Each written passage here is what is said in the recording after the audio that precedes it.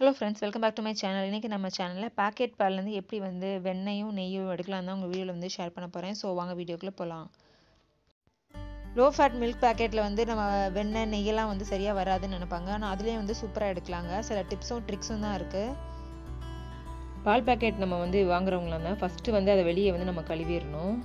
அதுக்கப்புறம் நான் அதை கட் பண்ணி ஊற்றி பால் ஊற்றினதுக்கப்புறம் கொஞ்சம் போல் தண்ணி வந்து சேர்த்து அது நல்லா வந்து குலுக்கிக்கிறேன். ஏன்னா அது உள்ளுக்குள்ளே வந்து கொஞ்சம் போல் அந்த க்ரீமி மாதிரி வேறு வந்து ஒட்டியிருக்கும். ஸோ அதெல்லாம் வந்து சேர்த்ததுக்கப்புறம் நான் மிச்ச பாக்கெட்டும் வந்து கட் பண்ணி சேர்த்துட்டு உங்களுக்கு வந்து காமிக்கிறேன். இந்த மாதிரி ஃபுல் கட் பண்ணி சேர்த்த பாலை வந்து ரொம்பவே லோ ஃப்ளேமில் வச்சு வந்து நம்ம வந்து காய்ச்சிக்கணும். ஸோ அந்த மாதிரி இப்போ வந்து அடுப்பை வந்து பாருங்கள் அந்த பர்னர் ரொம்பவே லோவில் வச்சுக்கணும். லோவில் வச்சு நம்ம மெதுவாக வந்து அதை வந்து காயணும். ஃபுல்லாக இப்போ வந்து காய வச்சுக்கிட்டு இருக்கேன். பால் காய்ச்சினதுக்கப்புறம் இந்த மாதிரி மெல்ல அப்படியே மேலப்பில் வரும் பாருங்கள் அந்த ஆடை அதாவே மேலே பொங்கி வரணும். அந்த அளவு இருக்கணும். இப்போயும் கூட நம்ம உடனே ஆஃப் பண்ணிடக்கூடாது. அந்த பால் வாசம் வரணும். அந்த வாசம் வர்ற அளவுக்கு நம்ம கரெக்டாக வச்சு காய வச்சோம்னா நமக்கு வந்து நல்ல திக்கான ஆடை கிடைக்கும். இந்த மாதிரி காய வச்ச பால் வந்து நம்ம நல்லா ஆறுனதுக்கப்புறம் கொஞ்சம் வந்து ஒரு பொட்டு கூட சூடு இருக்கக்கூடாது. அந்த மாதிரி ஃபுல் ஆறுனதுக்கப்புறம் வந்து ஃப்ரிட்ஜுக்குள்ளே எடுத்து வைக்கணும். ஃப்ரிட்ஜுக்குள்ளே வந்து ஒரு சிக்ஸ் ஹவர்ஸ் இருக்க மாதிரி நீங்கள் வந்து வச்சுக்கோங்க. சாயங்காலம் காய்ச்சறீங்களோ சரி நைட்டோ சரி ஆனால் சிக்ஸ் ஹவர்ஸ் வந்து உள்ளுக்குள்ளே இருக்கணும். அந்த மாதிரி நீங்கள் வந்து வச்சுட்டா கரெக்டாக வரும். இந்த மாதிரி இப்போ ஃப்ரிட்ஜுக்குள்ளே வச்சுட்டேன். வச்சுட்டு ஒரு எயிட் ஹவர்ஸ் கிட்ட இல்லை சிக்ஸ் ஹவர்ஸ் கிட்ட வந்து வச்சுருப்பேன்.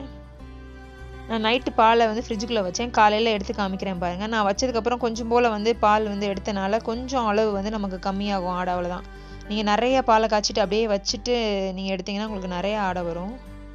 பாலேடு வந்து வந்துருச்சு பாருங்கள் இவ்வளோ வந்து வந்திருக்கு. இதில் நீங்கள் வடிகட்டி கூட வச்சு நீங்கள் அப்படியே அதில் போட்டுட்டு அதுக்கப்புறம் எடுத்திங்கன்னா உங்களுக்கு அந்த கொஞ்சம் கூட வந்து பால் வராது. அந்த மாதிரி ஃபுல் நீங்கள் வந்து ஆடையை வந்து எடுத்துக்கலாம். இப்போ இந்த மாதிரி நம்ம எடுக்கிற பாலேடை என்ன செய்யணும்னா லைட்டாக கொஞ்சம் போல் வந்து கேர்டு வந்து இதில் வந்து மிக்ஸ் பண்ணணும். எவ்வளோ சேர்க்கணும் உங்களுக்கு காமிக்கிறேன். இதில் ஒரு டூ டூ த்ரீ ஸ்பூன் தயிர் வந்து நல்லா வந்து சேர்த்துக்கிறேன். நல்லா சேர்த்துட்டு அதை வந்து கலந்து விட்டுறலாம். இந்த மாதிரி நம்ம தயிர் சேர்த்து விட்டு நம்ம வெண்ணெய் செஞ்சோன்னா அது நல்லா வந்து ஒரு வாசமாக இருக்குங்க. ஸோ அதுக்கு தான் ஃபுல்லாக வந்து மிக்ஸ் பண்ணிவிட்டு வச்சுக்கலாம். ஃப்ரிட்ஜுக்குள்ளே வந்து நார்மலான பிளேஸில் தான் வைப்பேன். ஃப்ரீசருக்குள்ளே வைக்க வேணாம். நம்ம நார்மலான பிளேஸில் வந்து வச்சாலே போதும். இப்போ வச்சதுக்கப்புறம் செகண்ட் டே வந்து நான் பால் காய்ச்சினேன் பாருங்கள் செகண்ட் டே காய்ச்சின பாலில் வந்து கொஞ்சம் கூட நம்ம நான் வந்து எடுக்கலை. அப்படியே அந்த ஆடு கூட அப்படியே நல்லா மஞ்சள் கலரில் தெரியுது பாருங்கள் கொஞ்சம் கூட நான் எடுக்காமல் பால் அப்படியே எடுக்காமல் நான் அப்படியே வந்து உள்ளே வச்சிட்டேன்னா எனக்கு வந்து நிறைய ஆடை கிடைக்கும். அதை காமிக்கிறக்காண்டி தான் அவங்க பண்ணுறேன் அதை நைட்டு வந்து வச்சிடுறேன். இப்போ நம்ம அந்த ஊற்றி வச்சுருந்த குட்டியான ஜாடியும் அதுவும் சேர்த்து தான் நெக்ஸ்ட் டே மார்னிங் வந்து எடுத்துகிட்டு வருவேன்.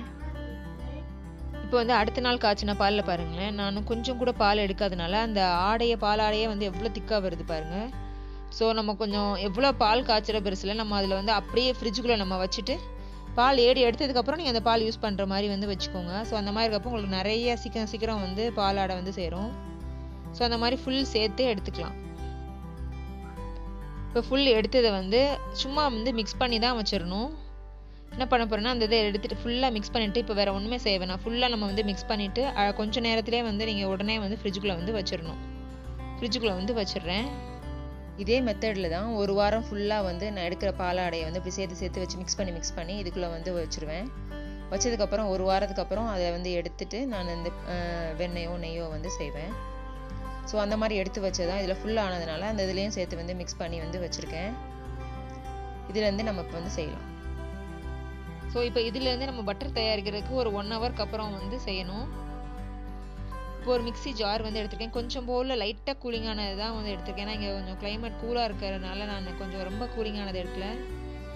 நீங்கள் வேணால் கொஞ்சம் ஃப்ரிட்ஜில் நல்லா கூலிங்கானது எடுத்துட்டிங்கன்னா உங்களுக்கு கொஞ்சம் பட்டர் கொஞ்சம் கொஞ்சம் எடுக்க வந்து ஈஸியாக இருக்கும். நீங்கள் ஃப்ரெஷ்ஷராக இருந்தால் கொஞ்சம் கூலிங்கானதுலேயே எடுத்துக்கோங்க. அதில் வந்து பாதி இது வந்து நான் இப்போ ஃபஸ்ட்டு டைம் போடுறதுக்கு வந்து எடுத்துக்கிறேன். ரெண்டு தடவை இந்த மாதிரி போட்டு எடுக்கிறப்போ கொஞ்சம் வந்து நல்லா ஈஸியாக இருக்கும். பட்டர் திரண்டு வர்றதுக்கு அதுக்காண்டி தான் ஸோ இந்த மாதிரி வச்சுட்டு நம்ம எப்போயும் ஒன் டூ த்ரீல வைப்போம்ல அந்த மாதிரி வைக்கக்கூடாது. பல்ஸுன்னு இருக்கும்ல நம்ம மோர்கு வந்து கடை இருக்கிறது மாதிரிலாம் பண்ணுவோம் பண்ணுவோம்ல. அதில் வந்து பல்ஸில் தான் வைக்கணும். பல்ஸில் வச்சு ஒரு ஃபைவ் கவுண்ட் பண்ணுற மாதிரி வச்சுட்டு விட்டுருங்க. அந்த மாதிரி ஒரு ஃபைவ் டைம்ஸ் வந்து நீங்கள் வந்து பண்ணுங்கள் பல்ஸில் நீங்கள் வச்சதுக்கப்புறம் one two three four five வர அங்கே வச்சுட்டு அதுக்கப்புறம் திரும்ப நார்மல் கொண்டு வந்துருங்க. அந்த மாதிரி நீங்கள் ஃபைவ் டைம்ஸ் வந்து பண்ணதுக்கப்புறம் வந்து ஓப்பன் பண்ணி பார்த்தீங்கன்னா ஒரு மாதிரி க்ரீமியாக இருக்கும். அப்போ உங்களுக்கு வந்து ஒரு ஐடியா கிடச்சிரும். ஒரு மாதிரி திக்காக இருக்க மாதிரி இருக்கப்புறம் அதுக்கப்புறம் பல்ஸில் வச்சதுக்கப்புறம் என்ன பண்ணணும்னா கரெக்டாக ஒரு டூ கவுண்ட் பண்ணுற மாதிரி தான் வச்சுக்கணும். இப்போ காமிக்கிறேன் பாருங்கள் கரெக்டாக வச்சுட்டு பல்ஸில் வைக்க போகிறேன் ஒன் டூ அந்த மாதிரி தான் ஒன் டூ அந்த மாதிரி வந்தோடனே வச்சுட்டு திரும்ப நார்மல் கொண்டு வந்துருங்க. அந்த மாதிரி நீங்கள் வச்சிங்கன்னா ஒரு த்ரீ டைம்ஸ் நீங்கள் வச்சதுக்கப்புறம் ஓப்பன் பண்ணி பாருங்கள் உங்களுக்கு நல்லா வந்து திரண்டு வந்திருக்கும். நீங்கள் பிகினர்ஸ்னால் புதுசாக இப்போ தான் வந்து பட்டர் செய்ய போகிறவங்கன்றவங்களுக்கு இது வந்து ரொம்ப சூப்பரான டிப்பாக இருக்கும். இப்போ வந்து பக்கத்தில் நல்லா காமிக்கிறேன் பாருங்கள் எவ்வளோ சாஃப்டான பட்டர் மாதிரி இருக்கும். நம்ம வந்து ரொம்ப கூலான தண்ணி ஊற்றலாம் கொஞ்சம் சாஃப்டாக வந்து பட்டர் உங்களுக்கு வந்து வரும். இப்போ இதில் இன்னும் கொஞ்சம் இருக்குது அதையும் போட்டு வந்து அடுத்த ஷிஃப்ட்டுக்கு வந்து நான் எடுக்கணும் இப்போ ஃபஸ்ட் டைம் வந்து இது ஃபுல்லாக வந்து நான் எடுத்துக்க போகிறேன் இந்த பல்ஸ் மெத்தட் பண்ணி பண்ணுறப்போ உங்களுக்கு பட்டர் வந்து பர்ஃபெக்டாக வரும். நீங்கள் ஒன் டூ த்ரீலாம் வச்சு பண்ணுறப்போ பிகினர்ஸ்க்குலாம் நாங்கள் ஃபாஸ்ட்டு பண்ணிட்டாங்கன்னு வச்சுக்கோங்களேன் உங்களுக்கு பட்டர் வந்து பிரிஞ்சு கரெக்டாக வந்து வராது. அதுக்கு தான் அதை வந்து சொல்லியிருக்கேன். ஸோ இந்த மாதிரி ஃபுல்லாக எடுத்ததுக்கப்புறம் அதில் கொஞ்சம் போல் இருக்கும் பாருங்கள் தண்ணியும் வந்து அதை ஃபுல்லாக எடுத்துலாம் அது வந்து இதாங்க மோர். இது வந்து நீங்கள் மோர் குழம்பு வச்சுக்கலாம். இல்லைனா கொஞ்சம் நல்லா தண்ணி கலந்து செடியெலாம் நீங்கள் வச்சுருந்தீங்கன்னா நல்லா அதை வடிகட்டிட்டு நீங்கள் செடி ஊற்றிங்கன்னா சூப்பராக அந்த கருவேப்பிலை செடியெலாம் நல்லா வளரும். இப்போ அதில் கொஞ்சம் லைட்டாக புளிப்பு சுவை இருக்கும்ல அதுக்காண்டி நான் கொஞ்சம் தண்ணி ஊற்றி அதை நான் பிரித்து எடுத்துக்க போகிறேன் அது ஃபுல்லாக வந்து வந்துடும் தண்ணி ஃபுல்லாக வந்ததுக்கப்புறம் நம்ம வந்து பட்டர் அவ்வளோதான் பட்டர் வந்து இப்போ ரெடி ஆயிடுச்சு இந்த பட்டர் ரொம்பவே சாஃப்டாக இருக்கும். நீங்கள் பிரெட் டோஸ்ட் பண்ணுறக்கெலாம் அந்த பட்டர் அப்புறமேலு நம்ம பன் பட்டர் பன் செய்கிறதுக்குலாம் சூப்பராக இருக்குங்க. ஸோ அவ்வளோதான் இவ்வளோ வந்து நமக்கு கிடச்சிருக்கு. இப்போ அது அடுப்பில் வச்சு நம்ம வந்து நெய் காய்ச்சிக்கலாம். இதில் வந்து வெண்ணெய் எடுக்கிறது மட்டும்தான் நம்ம கொஞ்சம் ரொம்ப கஷ்டமான கரெக்டான பக்குவத்தில் பண்ணணும். அதுக்கப்புறம் நெய் எடுக்கலாம் ரொம்பவே ஈஸியானது தான் நீங்கள் லோக்கும் மீடியமுக்கும் நடுவில் வச்சுட்டு நீங்கள் லைட்டாக அப்பப்போ கிண்டி விட்டாலே போதும். சூப்பராக உங்களுக்கு நெய் வந்துடும் இப்போ பாருங்கள் அந்த எல்லோ கலரில் இருக்க மாதிரி இருக்கு பாருங்கள் கொஞ்சம் நேரத்துலேயே அதை வந்து அப்படியே நுரைச்சிட்டு வர மாதிரி வந்துருச்சு பாருங்கள் இப்போ பக்கத்தில் காமிக்கிறேன். இந்த மாதிரி நுரைச்சிட்டு இருக்க மாதிரி இருக்கும். இப்போ அந்த கரெக்டாக அந்த கொஞ்சம் தண்ணி இருக்க மாதிரியே இருக்கும். நீங்கள் ஸ்பூனில் எடுத்து பார்த்தீங்கன்னா உங்களுக்கு தெரியும். கொஞ்சம் நேரத்தில் அந்த ஈரப்பதத்தோடத்தெல்லாம் கம்மியாகி கொஞ்சம் நல்லா லைட்டாக அந்த எண்ணெயும் அந்த தண்ணியும் இருக்கு அந்த கீயும் தண்ணியும் வந்து பிரியிற மாதிரி அப்படியே தெரியுது பாருங்க. அப்பப்போ நீங்கள் லைட்டாக பண்ணி விடலனா அது வந்து கொஞ்சம் திக்காக அந்த இடத்துல ஆயிரும். அது மாதிரி ரொம்ப ஹை ஃப்ளேம்லேயும் வச்சுறாங்க ஒரு மாதிரி கரிஞ்ச மாதிரி ஒரு ஸ்மெல் வரும். இப்போ கொஞ்சம் இந்த மாதிரி டயத்தில் வந்து நீங்கள் நல்லா லோவில் வச்சுக்கிட்டிங்கன்னா போதும். இங்கே பாருங்கள் அந்த இப்போ கொஞ்சம் வெள்ளை வெள்ளையாக இருக்க மாதிரி இருக்கும். நம்ம எடுத்து பார்த்தா. அது இன்னும் கொஞ்சம் நேரத்தில் அவ்வளோதான் அது வந்து டக்குன்னு ரெடி ஆயிரும். இந்த இடத்துல நம்ம வந்து ஆஃப் பண்ணிடணும்.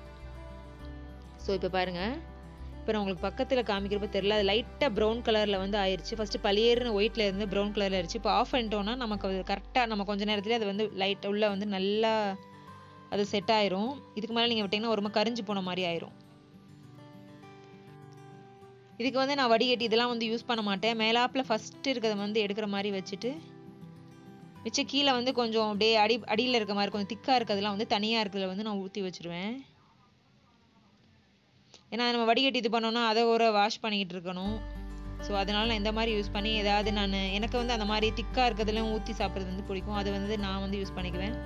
இப்போ எடுத்து காமிக்கிறேன் பாருங்கள் உங்களுக்கு வந்து அப்படியே மஞ்சள் மஞ்சேர்னு நெய் வந்து எவ்வளோ சூப்பராக வந்து பேக்கெட் பாலில் அதுவும் லோ ஃபேட் மில்கில் வந்து எவ்வளோ சூப்பராக வந்து கிடச்சிருக்கு பாருங்கள் வாசமும் அவ்வளோ சூப்பராக இருக்குங்க. நீங்கள் அதில் கருவேப்பிலை வந்து முருங்கைக்கீரை அந்த மாதிரிலாம் போடுவாங்க. உங்களுக்கு கிடச்சிச்சின்னா நீங்கள் அது கூட போடுங்க.